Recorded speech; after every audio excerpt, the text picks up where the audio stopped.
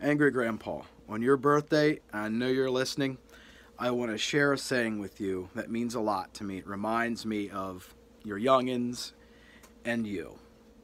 And that saying goes that sometimes a stranger, known to us only for moments, can spark our souls to kinship for eternity. You've shared your life with us for so many years. We've been inspired by you, you've given us hope, and we've laughed with you, we've cried with you, and we've raged with you.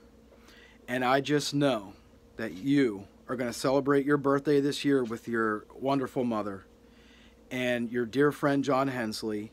You're going to get that jukebox that the two of you always talked about getting and firing up.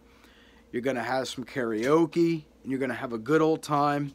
Just please try not to break the TV. Um, we do miss that. We miss the TVs breaking and things flying around.